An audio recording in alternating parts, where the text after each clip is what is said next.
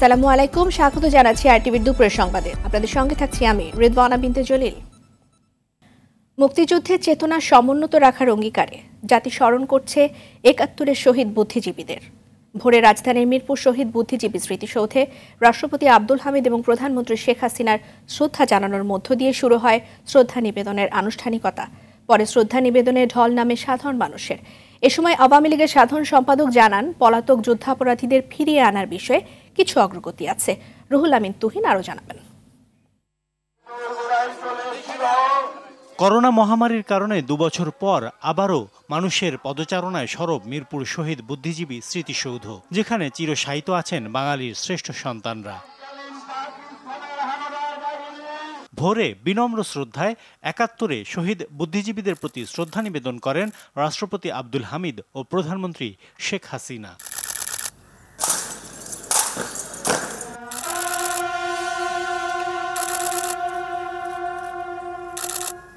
পরে আওয়ামী লীগের সভাপতি হিসেবে দলের নেতাদের নিয়ে শ্রদ্ধা জানান শেখ হাসিনা।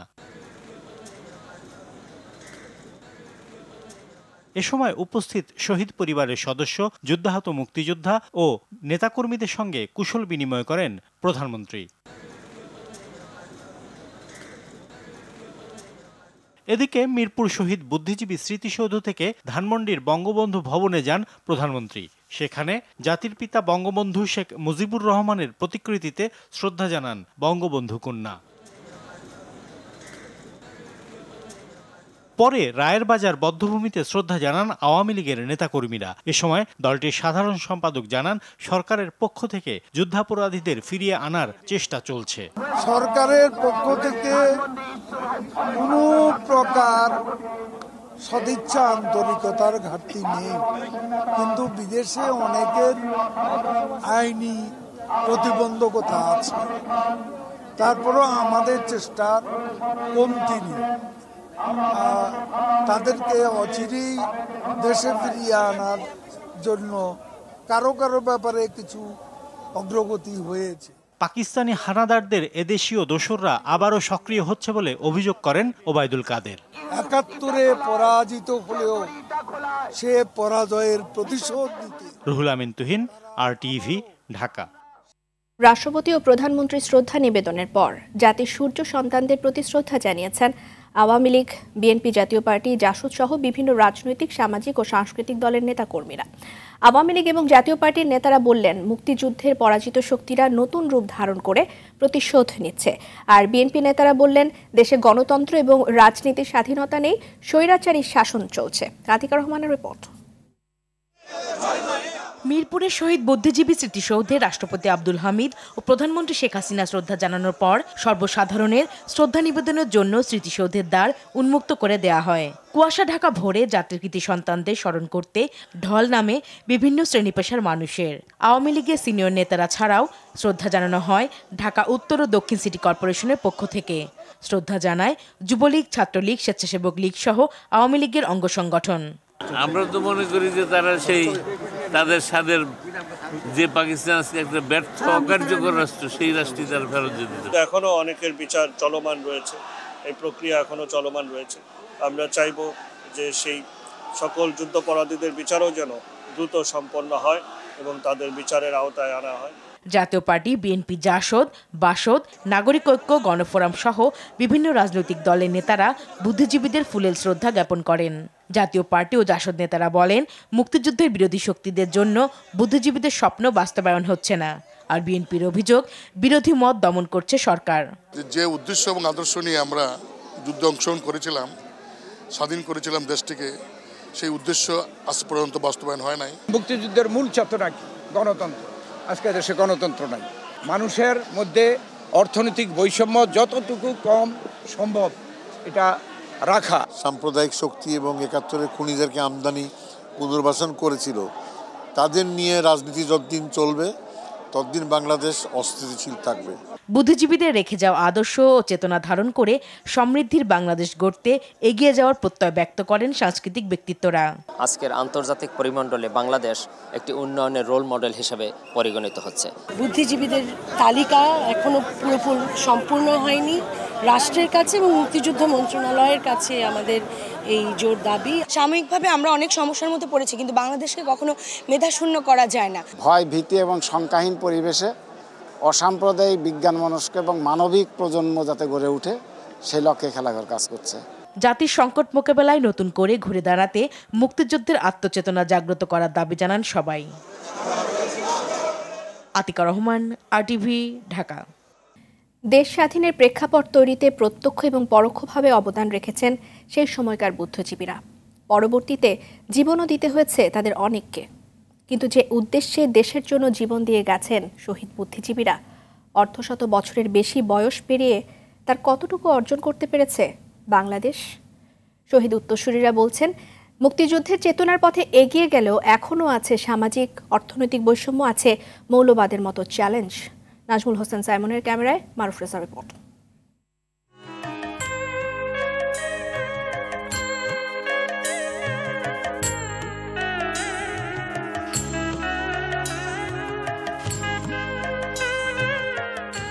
ভোরের নিয়মেই ভোর হয় প্রতিদিন। শিশির ভেজা সকালে স্নিগ্ধ সূর্যের দেখা মেলে এমন দিনেও। সময়ের সাথে সাথে সূর্যের আলোয় স্পষ্ট হয় পড়ালাল ইট ইট দেয়ালের মাঝে। খোলা জানালা আর স্বাধীন লাল সবুজের পতাকা। যে পতাকার জন্যই মুনির চৌধুরী, শহীদুল্লাহ কাইসার ডাক্তার আলিম চৌধুরী কিংবা আনোয়ার পাশারা জীবন দিয়ে গেছেন। একান্ন বছর আগে তাদের সেই জীবন উৎসর্গ ছিল সব স্বার্থের ঊর্ধ্বে কেবল দেশের জন্য। তাদের সেই নিঃস্বার্থ ভালোবাসার বাংলাদেশ এখন কেমন আছে? একজন মনীষ চৌধুরী, আলতাফ মাহমুদ, একজন জ্যোতির্ময় গুহ ঠাকুরতা জহিরান এরা কেন তালিকাভুক্ত হলেন জামাতে ইসলামীর এবং পাকিস্তানি জান্তার? সেটা তো একটি প্রজন্মের ছেলে মেয়েকে বুঝতে হবে। কিন্তু মূল হচ্ছে দুটো জায়গায়। একটি হচ্ছে সংস্কৃতি, একটি শিক্ষা। এই দুটো জায়গায় মুক্তিযুদ্ধের চেতনাকে মানে ইতিহাসকে তুলে ধরবার কাজটা সুসংগঠিতভাবে প্রত্যক্ষভাবে করা সম্ভব হয়নি। শহীদ সন্তানেরা বলছেন সেই সময়কার বুদ্ধিজীবীরা রাজনীতির ঊর্ধ্বে কেবল দেশের স্বার্থের কথা ভাবতেন। তবে সময়ের বাস্তবতায় রাজনীতির বেড়াজালে বন্দী এখনকার বুদ্ধিজীবীরা। রাজনীতিবিদরাও তাদের রাজনীতির চর্চা করেছেন এবং একে অপরের পরিপূরক ছিলেন। বর্তমান সময়ে আমরা সেটার পরিপূরক জায়গাটা দেখি না। রাজনীতিবিদরা তাদের মতো করে চলেন। বুদ্ধিজীবীরা কিছু কিছু ক্ষেত্রে যারা হয়তো সরাসরি কোনো রাজনৈতিক দলের সাথে যুক্ত থাকেন তারা হয়তো তাদের মতাদর্শগুলো দেন। কিন্তু সামগ্রিকভাবে আমরা বুদ্ধিজীবীদেরকে তাদের অবদানটা রাজনৈতিক অঙ্গনে দিতে দেখি না। অর্থনৈতিক উন্নয়ন হলেও সমানভাবে এগোয়নি সামাজিক উন্নয়ন কমেনি বৈষম্য। প্রশ্ন আছে মৌলবাদী ধারা নির্মূলেও। আমাদের যে এখনও সংবিধানের যে চার মূলনীতি আমরা চারটা স্তম্ভ যদি বলি সেই চারটা স্তম্ভ সম্পূর্ণভাবে প্রতিষ্ঠা আমরা এখনও করতে পারিনি। তার মধ্যে সবচেয়ে বড় হুমকির সম্মুখীন হচ্ছি আমরা এই সাম্প্রদায়িকতার জায়গাতে। প্রগতিশীল মুক্তিযুদ্ধের চেতনার পক্ষে এবং বাঙালি জাতিসত্তার পক্ষের একটা সাংস্কৃতিক আন্দোলন খুব জরুরি এবং জরুরি হচ্ছে মুক্তিযুদ্ধের পক্ষের শক্তিগুলোর ঐক্য। এই শক্তি শুধু রাজনৈতিক না, ঐক্যটা হতে হবে জনগণের পেশাগত ঐক্য। মানে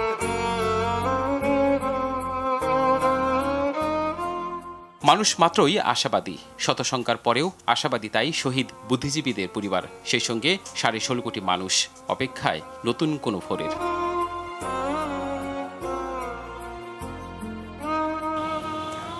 বিজয়ের একান্ন বছরেও অনেক কিছু না পাওয়ার আক্ষেপ, বুকের ভেতরে চাপা কষ্ট রয়েছে সাড়ে ষোলো কোটি বাঙালির, তেমনি স্বপ্নও থেমে যায়নি একেবারেই। শহীদ সন্তানেরা বলছেন, যাতে নিঃস্বার্থ আত্মত্যাগের বিনিময়ে অর্জিত আজকের বাংলাদেশ একদিন তাদের অনুজরাও ঠিক ঘুরে দাঁড়াবে সত্যিকারের মুক্তির পথ দেখাতে। মারফ্রেজা আর টিভি ঢাকা। কিছুদিন বিরতির পর আজ থেকে আবার শুরু হয়েছে ফ্যামিলি কার্ডের মাধ্যমে টিসিবির পণ্য বিক্রয়। সকালে মহাখালী কমিউনিটি সেন্টারে এই কার্যক্রমের আনুষ্ঠানিক উদ্বোধন করেন বাণিজ্য মন্ত্রণালয়ের সিনিয়র সচিব তপন কান্তি ঘোষ। এ সময় বাণিজ্য সচিব বলেন ওএমএস এবং টিসিবি কার্যক্রম একসাথে করার পরিকল্পনা আছে, তবে এ বিষয়ে এখনও চূড়ান্ত সিদ্ধান্ত হয়নি। নিম্ন আয়ের এক কোটি উপকারভোগী পরিবারের মাঝে ভর্তুকি মূল্যে পণ্য পৌঁছে দেওয়ার লক্ষ্যে রাজধানী সহ সারা দেশে ডিসেম্বরের এই বিক্রি কার্যক্রম চলছে। তবে এবার ডাল এবং চিনির দাম প্রতি কেজিতে পাঁচ টাকা বাড়িয়েছে টিসিবি।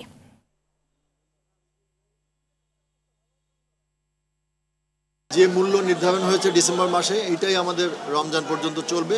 তারপরে বিশ্ববাজারে দাম পর্যবেক্ষণ করে আমরা সিদ্ধান্ত নেব। তারা এই কার্ড দেখিয়ে ওএমএস এর চাল কিন্তু নিতে পারবেন। প্রত্যেকেই ওএমএস এর চাল ওখান থেকে পাবেন। আমরা একসাথে দেওয়ার চিন্তাভাবনা এখন আছে বাট এখনও কার্যকর করতে পারি নাই। আর্জেন্টিনার সেমিফাইনাল জয়ে ঢাকা জুড়ে বিরাজ করছে উৎসবের আমেজ। রাজধানীর বিভিন্ন বিশ্ববিদ্যালয় পাড়া মহল্লা এবং অলিতে গলিতে রাত জেগে বড় পর্দায় খেলা দেখা সার্থক মনে করছেন ফুটবল ভক্তরা। প্রিয় দলের জয়ে নেচে গেয়ে এবং রং বেরঙের সাজে উদযাপনে মাতেন মেসি ভক্তরা। শেখ ফরিদের সহায়তা অরণ্য গফুরের আরেকটি রিপোর্ট। এক আসর পর আবার ফাইনালে ওঠার সুযোগ। লিওনেল মেসির সম্ভাব্য শেষ বিশ্বকাপ। আবেগ আর উচ্ছ্বাসে তাই রাত জেগে খেলা উপভোগে ছোটেন আর্জেন্টিনা ভক্তরা। খেলা শুরুর আগেই ভিড় উপচে পড়ে ঢাকা বিশ্ববিদ্যালয়ের জগন্নাথ হল, কলাবাগান স্টাফ কোয়ার্টার সহ রাজধানীর বড় পর্দা টাঙানো সব জায়গায়। খেলার প্রতিটি মিনিটে প্রিয় দলের আক্রমণ ও রক্ষণে একাকার হয়ে যান ভক্তরা। মেসির গোলের পর বাঁধ ভাঙা আনন্দে মাতেন ফুটবল প্রেমীরা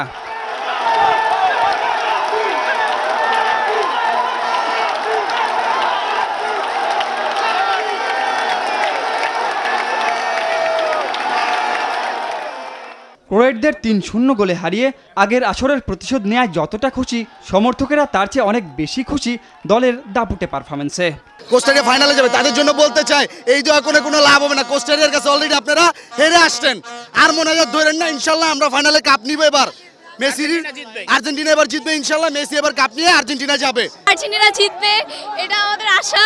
হ্যাঁ ফাইনালে যাবে ফাইনালে যে কাপটা আমরাই নিব। আমরা ফাইনালেও এই আমাদের অপনি টিমকে হারিয়ে আমরা চ্যাম্পিয়ন হব ইনশাল্লাহ মে- মেসি দুই গোল দিবে। ছত্রিশ বছরের অপেক্ষা কাটিয়ে মরুর বুকে শিরোপার ফুল ফোটার স্বপ্ন সমর্থকদের চোখে মুখে। মেসির হাতে এবার বিশ্বকাপ দেখতে চান তারা।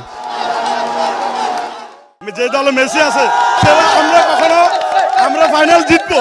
আমরা এটা জানি, আমরা ফাইনালে যাব ফাইনাল জিতবো ইনশাল্লাহ আমরা জানি সৃষ্টিকর্তা কখনো গ্রেটদেরকে খালি হাতে ফিরে না মেসির বেলাও সেটা হবে না। আমাদের বিশ্বাস ছিল সামনের ম্যাচগুলো তো থাকবে আমরাও চাই মেসির হাতে বিশ্বকাপ উঠুক। আর্জেন্টিনা ফ্রান্সের সাথে বিশ্বকাপ খেলবে ফাইনালে আমরা জিতবো। চার গোলে জিতবে। ইনশাআল্লাহ মেসি দি মেসি দি আমরা খেলব। আমাদের প্রতিপক্ষ যে আসুন না কেন আমরা ভয় পাই না। দু হাজার বাইশের ওয়ার্ল্ড বিশ্বকাপে আমরাই চ্যাম্পিয়ন হব ইনশাল্লাহ চ্যাম্পিয়ন আমরা হব ফাইনাল খেলবে মরক্কো ফাইনাল খেলবে মরক্কো, আর্জেন্টিনার সঙ্গে আর্জেন্টিনা তিন শূন্য গোলে জিতবে।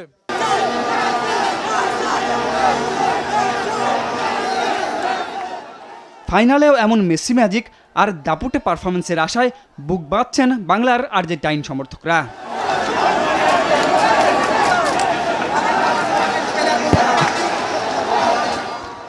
অরণ্য গফুর টিভি ঢাকা। কাতার বিশ্বকাপের সেমিফাইনালে ক্রোয়েশিয়ার বিরুদ্ধে আর্জেন্টিনার জয়ের পর বাংলাদেশ বাংলাদেশ ধ্বনিতে মুখরিত হয়েছে বুয়েন্স আয়ার্সের রাজপথ। সাদা আকাশী পতাকার সাথে সাথে আর্জেন্টাইনদের হাতে দেখা গেছে লাল সবুজ পতাকাও। প্রবাসী বাংলাদেশিদের মাঝে আর্জেন্টিনা ফুটবল দলের প্রতি তীব্র সমর্থনের জেরে স্থানীয়দের মাঝে বেড়েছে বাংলাদেশ প্রীতি। বাংলাদেশে আর্জেন্টিনার এত ভক্ত সমর্থক দেখে মুগ্ধ হয়েছেন দেশটির সাধারণ মানুষ থেকে শুরু করে কর্তা ব্যক্তিরাও এদিকে আর্জেন্টিনায় বসে প্রিয় ফুটবল দলকে সমর্থন দিতে পেরে উচ্ছ্বসিত প্রবাসী বাংলাদেশিরাও।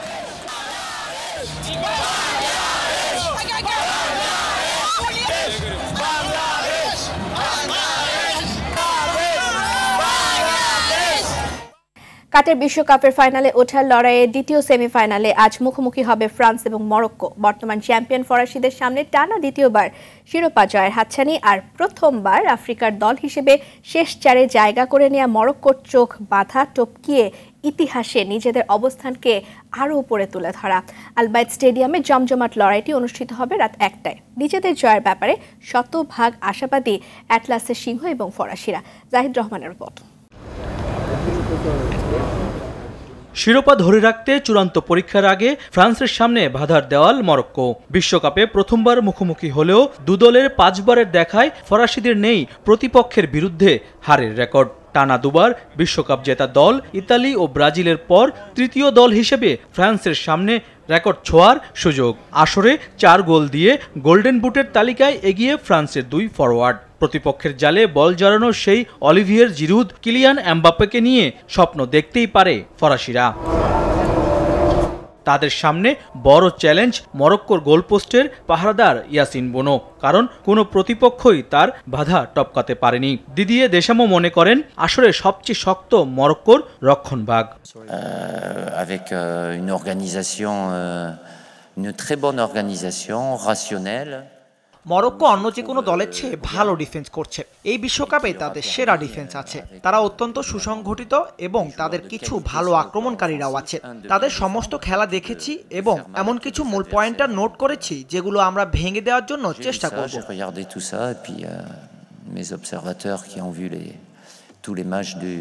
du Maroc, euh, forcément, il y a des éléments à prendre euh, en compte et ça sera notre objectif de leur créer des,